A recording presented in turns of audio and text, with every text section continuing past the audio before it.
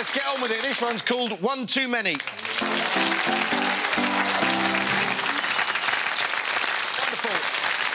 this round, I'll ask you a question and show you four answers, but there's one too many. One of the answers should not be there. Which one is the odd one out? The fly in Sean's soup du jour. The Foldgate Inn. OK, here's your first question. All of these have more germs on their surface than a toilet seat, apart from. So is it a light switch, a mobile phone, a kitchen sponge, or an office desk? An office desk definitely has. Right, now, I should point out that the lads here all used to work at a company together. They're in the stationery game. Right. I think we better conclude that an office desk is a fairly dirty place, then, aren't It's we? very dirty. Yeah. Depends on where the office desk is. If Yeah. it's the office desk on the set of a porno film, that's gonna it's gonna get a different level of use than the average What, what sort of You know. what sort of fancy schmancy adult entertainment are you watching that requires admin? So what do we think? Should we go for the go for sponge? The sponge, the sponge. Now, Wow. we're thinking. Come on. The, the sponge, I think, has got a lot of germs on it when it's wet, but when it dries, the germs tend to die. Uh, all of the other ones are touched a lot, so I think the more things are touched, the more germs they're going to have. That's an interesting and very plausible theory. Uh, all of them have more germs on the surface than a toilet seat, apart from which one? I'd go with kitchen sponge. Are you going to go, go, go with the Go with sponge? Will Sponge. They're going for the counterintuitive kitchen sponge. OK, I like your line of thinking, but you're wrong. The light switch, it's the light switch. The average toilet seat has 295 bacteria per square inch. The light switch, 217 bacteria per square inch. Yeah, kitchen sponge and mobile phone uh, have more germs than the average toilet seat. The desk, 400 times more germs than a toilet seat.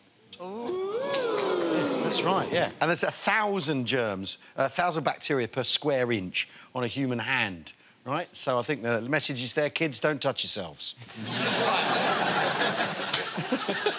OK, uh, the spread eagle, it's your turn. One too many. All of these featured in episodes of Doctor Who, apart from, is it the hand bot, the sea devil, a salt vampire, or a pipe person? And I understand the sheer hot nerd thrill that is currently beaming through the television to our nerd viewers with a Doctor Who question. They're smashing their faces against the screens in their homes like wasps. Absolutely unstoppable. I reckon it'd be pipe. I reckon they don't like smoking on there. it's like a kids' show, isn't it? It's a show. A kid's show? A sort of Do you mind? There's, there's nerds watching this. cool guy show, guys. A pipe person sounds sounds real to me. Do you think? I know. Oh, the salt vampire seems ridiculous, so... It's got to be in there, right? Imagine oh, a no, salt go the other way. vampire's blood pressure. Well, a vampire that, that sucked the salt from you rather than the, all the, than the blood. Yeah, you I'm know. pretty sure that would it be a I've, vampire I've then? seen one. I've seen one. I mean, not in real life. What do you think it? I would say either sea. Oh, sea devil. I don't know. I would say. I'm going to say. I want to say pipe person. You want to say? You, you I really want to say the pipe person Okay. because smoking is bad. Well, he, he- he's in most of them, so yeah, we'll go with him. We'll go with that. Okay, we're going to say pipe person. the correct answer is salt vampire. That's right. You're yeah. right. The Handbot first appeared in, on the 10th of September 2011 when Matt Smith was the Doctor, as of course our friendly nerds watching know. Um, I knew that. He made his first appearance in End of Time 2007, actually. the- 2010, oh, we got it wrong. You're very down on nerds for someone for someone who's presented a history documentary. hey, that's fact. Right? Here's the documentary. Back off. Um, and a salt vampire, Sean, From Star Trek. from Star Trek. Acquired lots of salt to live. Silly. Move on. Yeah, that's just silly. Right, uh, let's have a look at our next one. Foldgate Inn. What have we got? It's a question about wind. All of these are terms for wind apart from one. We've got the Willy Willy, the Sirocco, the Zephyr, and the Tuareg. OK, so Sirocco is definitely... Look at him go straight. Right. Zephyr's the one in California. OK, yeah. The Zephyr is what?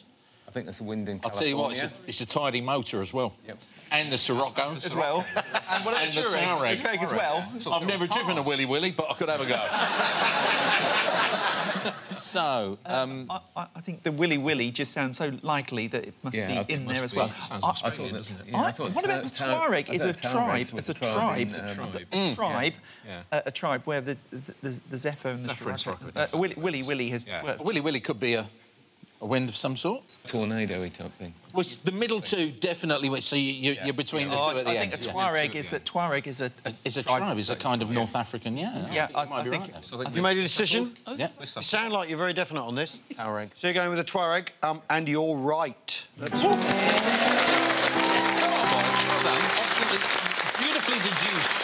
Tuareg can reach speeds of up to 150 mph, but that's because it's a car. And here we go, spread eagle. Here's your last one too many. Let's have a look. All of these are real species of bird apart from the satanic nightjar, the spectacled tyrant, the sombre tit, L. and the screeching pecker. I'm sure screeching pecker is actually a disease. Is another one of those. It could be any one of these. This I is. don't know. I feel like we've been dealt a bad hand. Have you heard of the nightjar before? I've heard of a I've heard of. I've, I've not heard of the satanic nightjar. I've heard of the nightjar as a bird, certainly. Tyrant. I've never heard of the tyrant at all. Obviously, there are a range I've of heard of. tits. You've heard of a somber tit?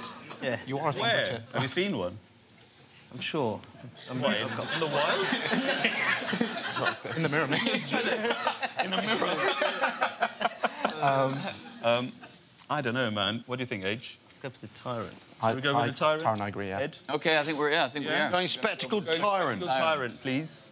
The one that isn't a real species of bird is the screeching pecker. oh Told you it was a disease. the end of round one, it's over to Sean for our scores. The Foldgate Inn lead by one. One nil.